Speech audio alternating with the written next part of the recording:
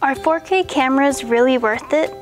Since the arrival of 4K cameras, there have been many debates on whether or not they are worth using for the average home or store owner.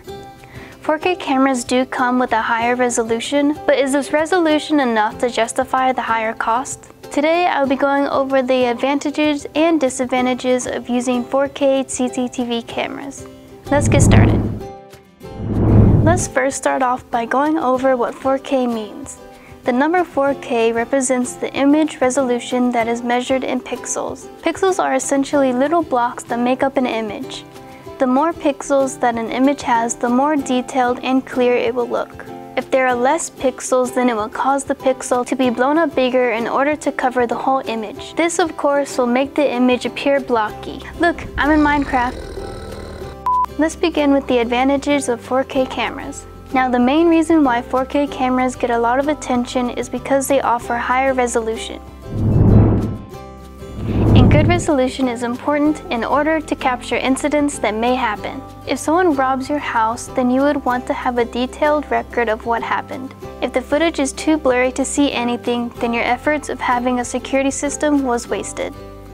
Another reason as to why 4K cameras can be better is that they will typically have a wider field of view.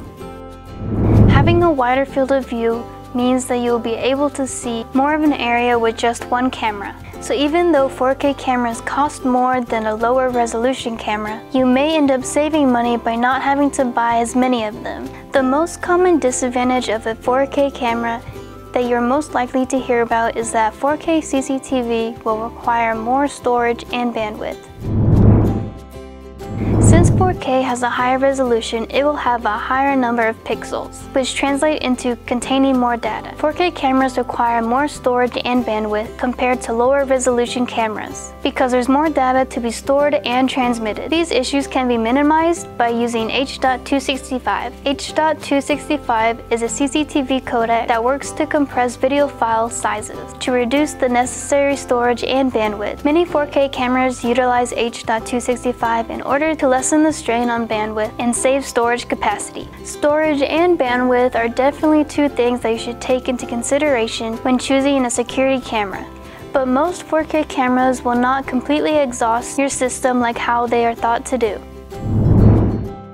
Well that is all for this video and just for a short recap, we talked about the advantages of using 4K cameras and those advantages are better resolution so you will not have to deal with blurry footage and it also has a wider field of view, so you won't have to spend more money on extra cameras. And the disadvantages of 4K cameras is that 4K cameras require more storage space and bandwidth because of its higher resolution. I hope this video helped you understand 4K cameras a little bit better, and if you have any questions about 4K cameras, then just leave it down below. And don't forget to like and subscribe, and I'll see you guys in the next 2M video.